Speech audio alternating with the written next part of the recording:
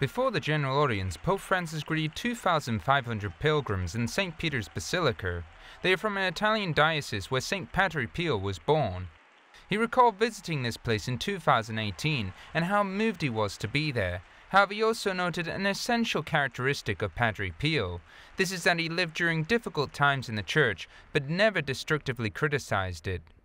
Ma lui amato la Chiesa com'era, non l'ha distrutta con la lingua, come è di moda farlo adesso. Quello che ama la Chiesa sa perdonare, perché sa che lui stesso è peccatore, ma non si può vivere tutta una vita accusando, accusando, accusando la, la Chiesa. L'ufficio di accusatore di chi è? Chi è quello che la Bibbia chiama il grande accusatore? Chi è? Non capisco, non sento bene.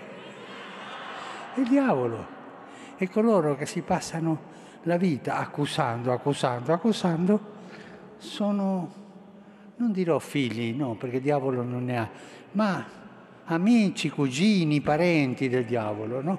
E no, questo non va. Si devono segnalare i difetti per corriggere, ma al momento che si segnalano i difetti, si denunciano i difetti, si ama la Chiesa. Senza amore, quello del diavolo.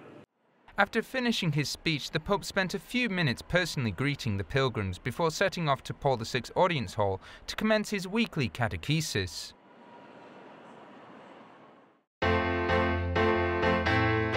Would you like to see the Pope up close and personal?